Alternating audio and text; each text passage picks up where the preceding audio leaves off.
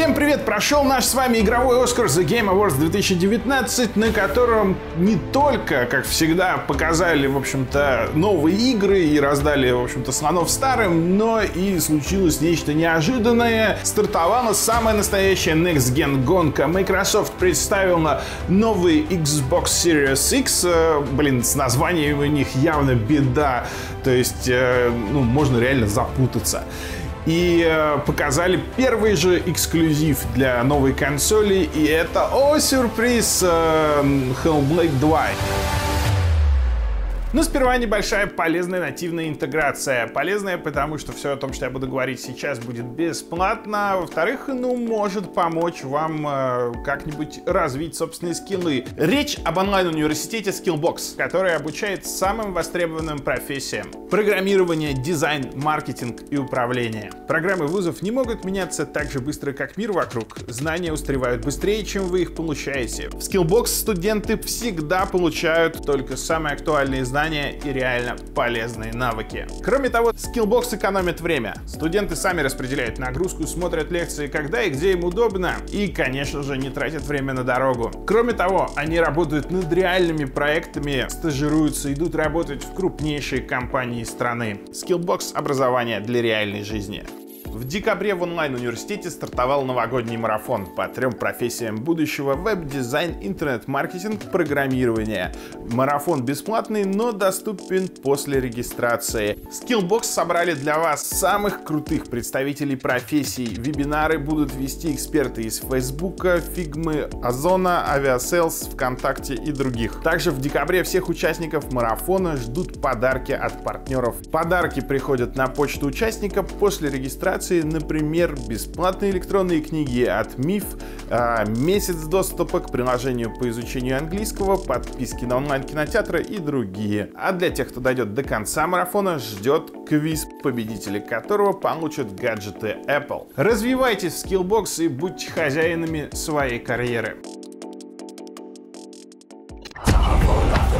Hellblade 2. Выглядит просто потрясающе. Шикарнейший ролик с охренительной музыкой, с охренительным размахом. Видно, что это проект уже, да, не Индии, а с большим финансированием, с большим масштабом.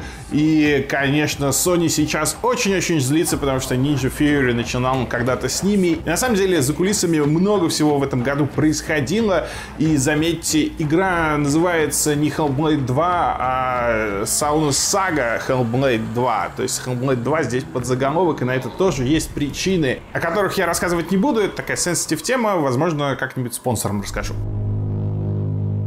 Но, тем не менее, анонс состоялся, и он охренительный. По поводу Xbox у нас есть информация, да, что будет две версии консоли. Одна такая слабенькая, с прицелом на 1080 и, скорее всего, с прицелом все-таки на стриминг. И будет вот производительная версия с ray tracing ом, с полным фаршем. Многие уже пошутили, что выглядит она как колонка Яндекса. И на самом деле, мне кажется, в этой шутке есть э, абсолютная доля истины, потому что что-то мне подсказывает, что там будет ассистент, что они не забросят идею домашнего развлекательного центра, который может все. Our fastest, most powerful Xbox will set a new bar for performance, speed, compatibility. Ну и очевидно, что вот это поколение у нас это переходный мостик к эпохе стриминга. Именно поэтому Microsoft сейчас вваливает столько усилий вообще в новый Xbox, потому что в предыдущем поколении они подзабили. Такой большой компании на самом деле не очень было важное игровое подразделение. Но вот несколько лет назад все начало меняться, и сейчас возвращаются такие времена а вот когда был на запуске Xbox 360. Почему? Потому что как раз большая компания увидела в том, что здесь может быть очень большой рынок именно с точки зрения стриминга, захвата аудитории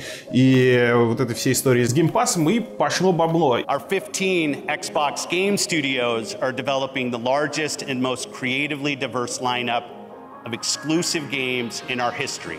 И сейчас очень много разговоров о том, что на запуске Xbox будет э, ну, выглядеть помощнее, чем PlayStation 5. Повторится история вот с Xbox 360 и PlayStation 3. У Microsoft будет очень сильная линейка на старте, там говорят аж 12 проектов где-то. И очень интересно, чем сможет ответить Sony, потому что все основные игры сейчас у них выходят на PS4. Говорят, что к запуску PS5 основные франшизы не сильно успевают. То есть вот Horizon 2, он не появится на запуске PS5, например. For 18 years and three generations, We've designed Xbox consoles to power your dreams. Понятно, что будут э, такие улучшенные версии актуальных релизов, того же Death Stranding, Last of Us 2, Ghost of Tsushima, но вот что из эксклюзивного может показать PS5, очень интересно. Пока анонсировали только одну игру, Godfall, от Gearbox Software. Это будет такая Destiny дрочилья, но с ближним боем.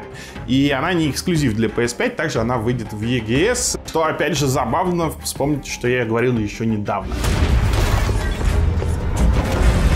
Понятно, что это у нас разогрев, и основная битва произойдет на E3, но на самом деле, э, мне кажется, в этот раз все будет несколько иначе и менее впечатляющим. Я уже говорил вот э, в прошлом году, когда PS5 пошли слухи про характеристики, что вот эта вся история с PS4 Pro с Xbox One X, она во многом, ну, подубьет нам вот этот вот переход с одного поколения на другой, и на самом деле меняется суть консоли, размывается граница между поколениями, и то, что мы увидим под видом PlayStation 5 и вот нового Xbox, не будет сильно отличаться от возможностей того же Xbox One X, а, но при этом туда добавят Ray Tracing, заложат вот какой-то стандарт технологический, которому будут следовать разработчики, ну, а дальше. Привет PlayStation 5 Pro и Xbox Series XX XX. На самом деле, да, вот привычный смысл консолей, поколений, он, конечно, уходит. И на первое место выходит экосистема, сервисы, ну, то есть э, с консольным рынком происходит абсолютно то же самое. То же самое мы видим на примере кино, на примере мобильных всяких историй. И вообще, я говорю, следующий год и вообще ближайшие годы в игровой индустрии будут очень интересными, потому что многие привычные представления будут у нас меняться, в том числе с пришествием стриминга. И вы, кстати, могли бы заметить, на Game Awards было очень много рекламы стриминг-сервисов и PlayStation Now, и Google Stadia изо всех щелей лезла, и даже Amazon анонсировал новую игру New Worlds от Amazon Game Studios. Э, и напомню, в следующем году нас ждет анонс э, стримингового сервиса от Amazon. And a growing evil, where the forces of death and life are in constant conflict. Далее, что есть сказать, в общем, по поводу Game Awards, то, что, ну, наконец-то, мне кажется, авторы определились, что они все-таки больше шоу, а не серьезная какая-то награда, потому что вот как серьезную награду, я говорил, это очень всегда такая политически сложная штука, нельзя сделать нормальные награды в современной игровой индустрии, потому что, собственно, само шоу, оно в том числе финансируется издателями видеоигр, поэтому здесь такое понятный договорняк, чтобы никого не обидеть, э, чтобы лицо сохранить. Поэтому игра года у нас Секера. Понятно, что там жюри голосует, все дела, но если бы дали Кадиме, то, в общем-то, на Джеффа Килли бы напали и разорвали его, потому что в данном случае уже дружеские отношения их э, вредили Death Stranding, потому что у Кадимы с Килли давние дружеские отношения, он всячески помогал и продвигал игру. К этому уже начали возникать вопросы у всяких диванных аналитиков. И Джефф, на мой взгляд, как-то красиво сохранил лицо, и Кадиму не обидели, он взял лучшего режиссера, лучшую музыку, и Мэтт Николсон получил награду за лучшую актерскую игру. Очень жалко Нормана Ридуса, потому что он такой печальненький, мне кажется, сидел в зале. А, вообще было много голливудских звезд и продюсеров, и актеров. И Вин Дизель прекрасный появился с Мишель Родригес не менее прекрасный. Вручили они игру года, заодно прорекламировали свою не очень хорошую явно игру э, по Форсажу. Ну, ее трейлер меня на самом деле вызвал много ностальгических таких ноток, потому что там есть кадры, где Маслон Кар едет с пушками по пустыне, и это прям вызывает воспоминания о прекрасной игре Interstate 76. В любом случае, понятно, что это такая би-игра будет, э, но, возможно, неплохая. Посмотрим. Do not tempt me. I got to tell you a secret, too. I, I, I, I didn't tell you before. Uh, yesterday, I saw the four minute trailer to Fast 9. Из того, что показали меня опять до мурашек э, новый трейлер Final Fantasy VII Remake, э, я вот единственные, наверное, два раза, когда я сидел с мурашками на этой церемонии, это Final Fantasy VII и Hellblade 2. В остальном, по-моему, был милый трейлер Humankind, очень приятная атмосфера игры, очень хочется ее пощупать. Анонсировали 9 to 5 от выходцев из Remedy, ну, пока непонятно, что это. Wolf Among Us 2 было безумно приятно видеть, потому что, наверное, из всех telltale игр это единственное, которое мне по-настоящему понравилось, хоть и не до конца. И мы вот даже немножко себя корим, потому что, на самом деле, всю схему с Telltale мы обсуждали в начале года, но нигде это публично не рассказали, что на самом деле компанию банкротит э, специально, и она еще вернется. Welcome to the Weird West. Не очень понятный проект от выходцев из Аркейна, которые работали над Dishonored и Prey. Они основали свою студию в Unfi и делают инди-игру Weird West, которая вроде как сочетает в себе топ-даун, да, такую изометрическую графику и при этом Immersive Sim, но это очень странно выглядит. Я в этот проект, честно говоря, не верю, но, возможно, он окажется весьма харизматичным. Посмотрим.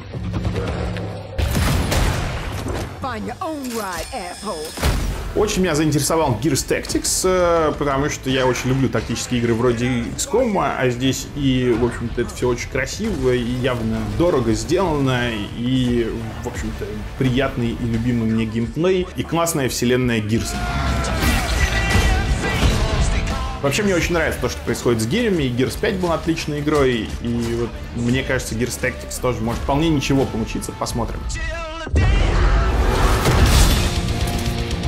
Анонсировали Dungeons and Dragons Dark Alliance. Это будет такой hack and slash. Но трейлер, которым ее анонсировали, он был словно из 90-х, трейлера ранних 2000-х, под такой металл. И это, конечно, было очень ностальгично и приятно.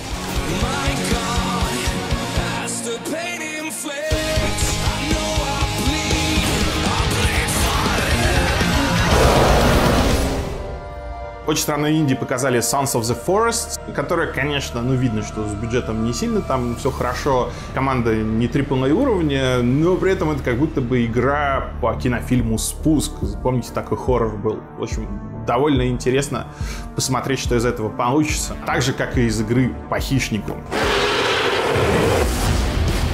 Еще из такого бэкласса выделилась Man Eater, ну, ее уже до этого анонсировали, игра про акулу, которая жрет, в общем-то, туристов. Э, в принципе, такие игры достаточно часто вирусно успешными становятся. Ну и, конечно, ждем No More Heroes Free для Switch. Вообще, Switch э, определенно можно смело назвать платформой года, потому что вышло рекордное количество охренительных игр, я уже вам про это говорил. И, собственно, Game Awards э, видно, что был комьюнити Nintendo супер активным. И, в общем-то, Fire Emblem Free House, замечательная, которую я вам уже хвалил, стала игрой года по версии комьюнити. And the winner is Controller! Control был во многих номинациях и получил Best Art из рук э, Накамуры, которая, в общем-то, как всегда, эффектно вышла на сцену, была милой, смешной и классно шутила. И именно из-за этого ее в свое время уволили. Но зато она получила лучи славы всего мира и, в общем-то, прикольно в них купается. Даже стебанул Илона Маска, который был, в общем-то, в аудитории и потом в Твиттере, что, мол, может, это я вам новую Теслу нарисую и вообще, может, работа для меня найдется. Короче, молодец. Here are the nominees for Best Art Direction are Internet. Ну и в остальном ничего особенно интересного на шоу не было. Даже, в общем-то, выступления, ну, были неплохие. То есть открыл церемонию Church, очень круто, из композиции из Death Stranding. Э, была музыка из Ghost of и не очень э, вообще к месту, мне кажется, залетевшее выступление Green Day, э, которое еще было затянуто, и оно было приурочено к анонсу Music Pack для Beat Saber. Это одна из самых популярных игр для VR сейчас. И, кстати, заметьте, VR потихонечку так проникает, да, и на Game Awards в том числе. И вообще Э, скоро, я думаю, мы к этой теме вернемся. В VR происходит много всего интересного, и ближайшие годы для него будут такими годами роста.